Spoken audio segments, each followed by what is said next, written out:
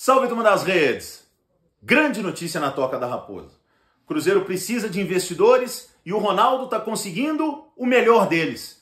Um grande cruzeirense, o Pedro Lourenço, que cansou de ajudar o Cruzeiro, até de maneira extraoficial, ajudando daqui e dali. Quando o Cruzeiro teve greve, quem foi lá ajudar? Pedro Lourenço. Cruzeiro precisou de reforma, quem ajudou? Pedro Lourenço cotas de patrocínio sendo passadas, adiantado pelo Lourenço. E agora, de maneira oficial e até de uma maneira de gratidão, o Pedro Lourenço está oficialmente entrando na SAF do Cruzeiro. É muito bom chancelar. É muito bom para o Ronaldo, que tem a identificação com a torcida do Cruzeiro, tenha um parceiro que esteja injetando uma boa grana para poder deixar o Cruzeiro ainda mais forte. É uma parceria ganha-ganha, porque o Ronaldo precisava de dinheiro para o Cruzeiro. O Pedro Lourenço tem esse dinheiro, queria colocar no Cruzeiro.